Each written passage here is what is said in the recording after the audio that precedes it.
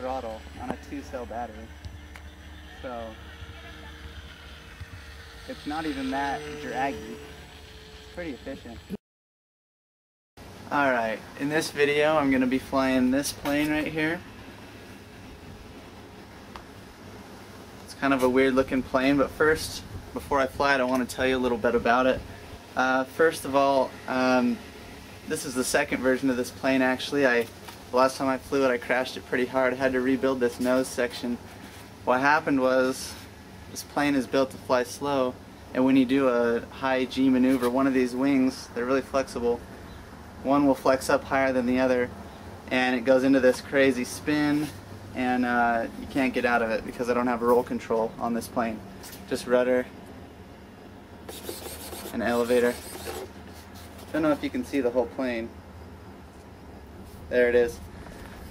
Alright, um, so my goal with this plane was I wanted it to be pretty slow. Um, I wanted it to be easy to fly and I wanted it to fly really smoothly, just like a nice, relaxing flight. Um, I'll tell you a little bit about the wings. So you can see it's a biplane. Um, and if you know anything about aerodynamics, you know that in a biplane, um, the two wings don't produce twice as much lift as a single wing uh, with an equivalent planform area.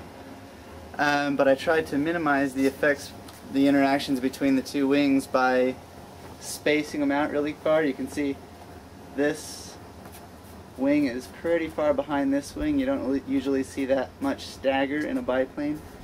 And this wing on top also has more dihedral than this one. I just wanted them to be nice and spread out. Still, I'd say I only get maybe a 30% uh, increase in lift from having two wings rather than one. Which is pretty substantial, but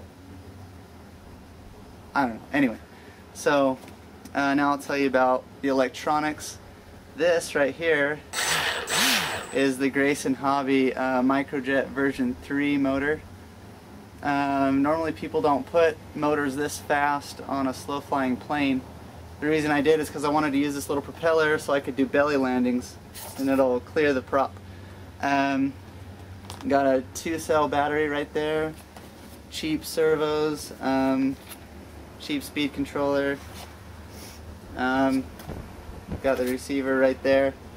I think that's about it. Okay, I'm gonna go fly it now. We're recording.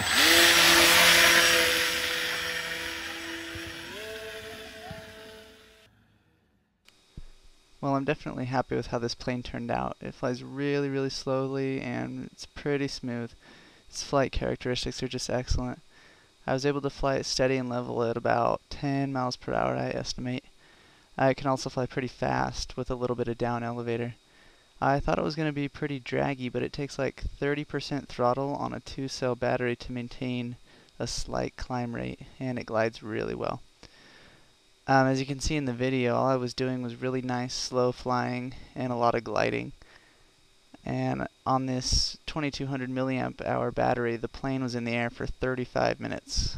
Um, yeah, that's pretty amazing. I was really surprised it was able to fly for so long. It's just a lot more efficient than I thought it would be.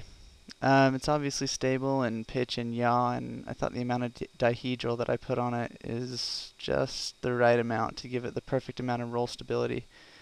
The controls are really responsive. I could fly it in a pretty small area if I wanted to.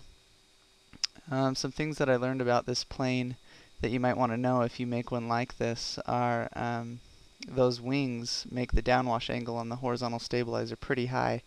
I underestimated the downwash angle when I first built it. Um, on its first flight I had the center of gravity much farther forward than it needs to be and the plane still wanted to pitch up pretty hard. I couldn't trim it to fly level even, so I actually had to increase the mounting angle on the horizontal stabilizer to make it possible to trim the airplane.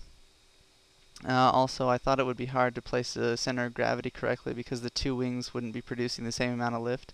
It turns out the right place to put it is halfway between the quarter chords of the two wings. Um, I guess that means that both wings are pr producing the exact same amount of lift.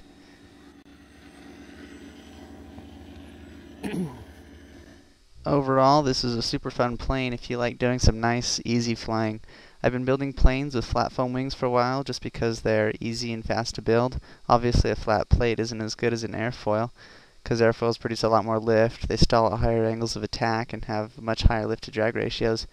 Now that I've come up with an easy way to cut foam, and after seeing how well this plane flies, I don't think I'll ever build a plane with flat wings again. Thanks for watching.